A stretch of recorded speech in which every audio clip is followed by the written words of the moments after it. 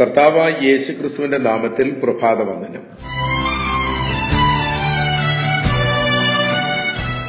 ഫിലിപ്പിയ ലേഖനം മൂന്നാം അധ്യായം പതിമൂന്നും പതിനാലും വാക്യങ്ങൾ. സഹോദരന്മാരെ ഞാൻ പിടിച്ചിരിക്കുന്നു എന്ന് നിരൂപിക്കുന്നില്ല. ഒന്ന് ഞാൻ ചെയ്യുന്നു.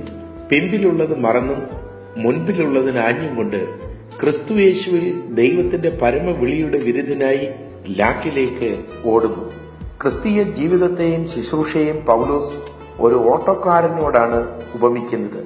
ഡെമസ്കോസിന്റെ തെരുവീതിയിൽ വെച്ച് ക്രിസ്തുവിന്റെ സ്നേഹത്താൽ ബന്ധിതനായപ്പോൾ മുതൽ ആരംഭിച്ച ക്രിസ്തീയ ഓട്ടം റോമ കാരാഗ്രഹത്തിൽ വെച്ച് രക്തസാക്ഷിയായി അവസാനിപ്പിക്കുമ്പോൾ ഭയമോ ഓടി തീർക്കുവാൻ ഏറെ ദൂരം ഉണ്ടെന്നുള്ള നിരാശയോ തനിക്കില്ലായിരുന്നു.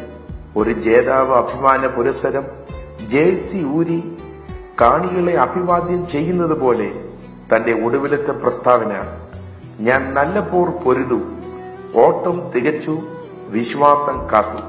പ്രിയരെ നാം എത്ര ദൂരം പിന്നിട്ടു എന്നതിനേക്കാൾ ഇനി എത്ര ദൂരം പിന്നിടുവാനുണ്ടെന്ന് മനസ്സിലാക്കി അതിനനുസരിച്ച് ഓട്ടത്തിന്റെ വേഗത നാം ക്രമീകരിക്കാൻ ഇടയാകണം. വിജയകരമായി ലക്ഷ്യത്തിലെത്തുവാൻ നാല് കാര്യം പൗലൂസ് ഇവിടെ പറയുന്നു. ഒന്ന് സ്വയം വിലയിരുത്തുന്നു. സഹോദരന്മാരെ ഞാൻ പിടിച്ചിരിക്കുന്നു എന്ന് നിരൂപിക്കുന്നില്ല. രണ്ട് തന്റെ ദൃഢ നിശ്ചയം. ഒന്ന് ഞാൻ ചെയ്യുന്നു.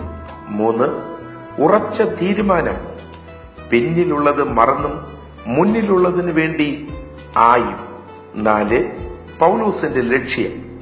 ക്രിസ്തു യേശുവിൽ ദൈവത്തിന്റെ പരമ വിളിയുടെ ലാക്കിലേക്ക് ഓടുന്നു. നമുക്ക് മുൻപേ ലക്ഷ്യം കൈവരിച്ചവർ നൽകിത്തരുന്ന സന്ദേശം തളരാതെ ഓടുക സ്വീകരിക്കുവാൻ കർത്താവ് നമ്മെ കാത്തു നിൽക്കുന്നു. സ്വർഗപിതാവെ രാവിലെ സമയത്തിനായി നന്ദിയോട് സ്തോത്രം ചെയ്യുന്നു.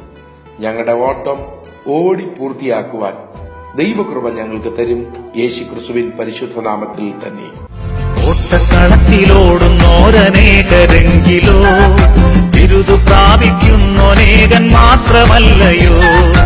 ഓട്ടക്കളത്തിലോടുന്നോരനേകരെങ്കിലോ മാത്രമല്ലയോ?